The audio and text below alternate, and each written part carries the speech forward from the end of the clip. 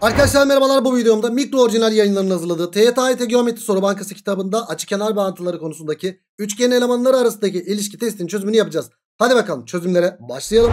ABC üçgeninde bu yükseklik bu da kenar ortay verilmiş. Çünkü BD DC'ye eşit. Bizden de ne isteniyor? A açısının iç açı ortay uzunluğunun alabileceği kaç farklı değer vardır diye soruluyor. E yükseklik verilmiş kenar ortay verilmiş açı ortay soruluyor bize. Biz ne biliyoruz?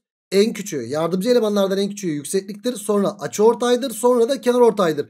En küçüğü yükseklik en büyüğü de kenar ortay. Açı ortay nerede? Yükseklikle kenar ortay arasında. Yani bizim NA ne ile ne arasında olacak? Hocam yükseklikle kenar ortay yani 6 ile 9 arasında olacak. Hangi değerler alır? 7 ve 8 değerlerini alır. Dolayısıyla cevap ne yapacaktır? 2 tane değer alır. Cevap 2'ye. Örnek 2'ye geldik. ABC dik üçgen ve AB ile AC birbirine eşit değilmiş. Verilenlere göre BC kenarına ait yüksekliğin uzunluğu tam sayı olarak en çok kaçtır diye soruluyor. Arkadaş buradan buraya çizilen yükseklik soruluyor bize. E ben neyi biliyorum? Buradan çizilen yükseklik açı ortay ve kenar ortay sırası var. A kenar ortay burada kenar ortay özel bir durum oluşturuyor. Hocam şöyle kenar ortay eşit eşitken 90'dan çizilen kenar ortay muhteşem üçlü oluşturur mu? Oluşturur. E o zaman burası 6 burası 6 burası da 6 olur. E yükseklik de alttan küçük olmak zorunda değil mi? Kenar ortaydan küçük olacak ya da buradaki dik üçgenden de anlayabilirsin zaten bunu. Yani burası en küçük ne olmak zorunda o zaman arkadaşlar? Pardon en büyük tam sayı olarak yükseklik en büyük kaç olacaktır? 5 olacaktır. Niye? İkizkenar olsaydı ne olacaktı hocam? İkizkenar olsaydı 45 45 90 üçgen olacaktı. Çizilen yükseklik kenar ortay hepsi birbirinin aynısı olacaktı. Yani cevap 6 olacaktı. İşte burada ikizkenar derken böyle yükseklik kenar ortayın birbirine eşit olmamasını söylüyor yani. Tamam anlaşıldı. Evet örnek 2'yi böylelikle 5 bulduk. Geldik örnek 3'e. ABC çeşitkenar üçgen. Dikkat. Buna dikkat edeceğiz. AB'yi 8 vermiş. ABC'de 30 derece. E BC kenarına ait kenarortay uzunluğu en küçük tam sayı değeri kaçtır diye soruluyor. Arkadaşlar buradan buraya çizilen en küçük değer. Arkadaşlar öncelikle ben şu 30'dan dolayı bir 90 derece çizebilirim. 90 derece çizince 90'ın karşısı 8 ise 30'un karşısı kaç olacaktır? 4 olacaktır. E bizim kenar ortay nasıl olacak hocam? Kenar ortay da böyle. 4'ten büyük olmayacak mı? Evet. 4'ten büyük olacağı için 4'ten büyük olacağı için ne olmak zorunda hocam burası? 5 olabilir. Yani cevap 5 olacak. Çeşit kenarlığı niye koydu burada?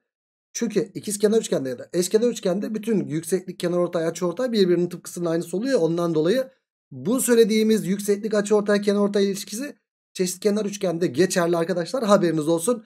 Evet 4'ten büyük olacak. En küçükü 5'tir. O yüzden cevap 5 oldu örnek 3'te. Geldik örnek 4'e. E arkadaşlar burada ne var? Direkt şu ikisinin toplamı üçgen içinde bir nokta alınınca ne oluyordu? Şu kenardan büyük oluyordu ikisinin toplamı. Şu ikisinin toplamından da küçük oluyordu. Yani x artı 5 küçüktür 4 artı 7 diyeceğiz. Buradan da x küçüktür kaç geliyor? 6 geliyor. Yani x'in en büyük değeri kaç yapmış oluyor o zaman arkadaşım? 5 yapmış oluyor. Evet örnek 4 5 yaptı. Geldik örnek 5'e. D noktası ABC üçgenin iç bölgesindedir. Çevre ABC'nin alabileceği en küçük değer nedir diye soruluyor arkadaşlar bize. Şimdi öncelikle şunun en küçük değerini yazabiliriz arkadaşlar. Şurası ne olacak? Burası hocam hani şuradaki değeri düşünecek olursak A değerini düşünecek olursak 2 ile 12 arasında. Tamam. Burası 2 ile 12 arasında ya. O zaman buraya ben en az kaç diyebilirim hocam? 3. Deme öyle. Çünkü kenarlar tam sayı demiyor. O yüzden sınır noktası yazayım. Yani şurası 2'den büyük hocam diyeyim. En küçük değerleri düşeceğim. Peki şu ikisinin toplamı da lazım. Bu ikisinin toplamı da şu ikisinin toplamından büyük değil miydi? Evet. O zaman bu ikisinin toplamının en küçük değeri lazımsa bu ikisinin toplamını ben 12'den büyük diyebilir miyim? Evet 12'den büyük. Hocam 13 yazsak olmaz tam sayı değil.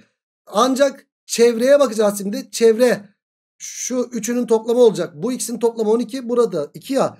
Yani toplamda 14'ten büyük olacak. O zaman cevap ne olacak? 15 olacak. Tam sayı değerleri yazsaydın yanlış çıkacaktı. Bu tür sorularda ben sınır noktası yazmayı çok seviyorum. Sen de büyük ihtimalle sınır noktası yazarsın.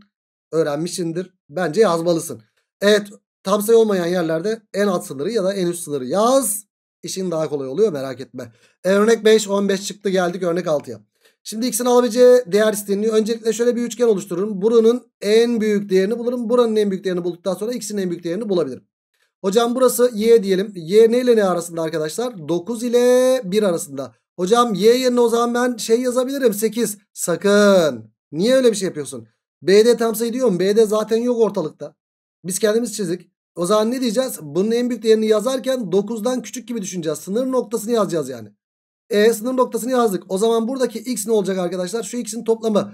Yani 12 değil mi? Evet ama 9'dan küçükle 3'ü topladığınız zaman 12'den küçük bir sayı yapar. Ee, sonra farkı da önemli değil zaten. En büyük değer isteniliyor benden. 12'den küçük en büyük değer nedir? 11'dir. Cevap 11 diyebiliriz. Ya da hocam 12'den küçük değer ya burası 11.9 diyebiliriz. 11.9'dan küçük değer en büyük değer nedir? 11 diyebiliriz. Yani cevap böylelikle 11 çıktı.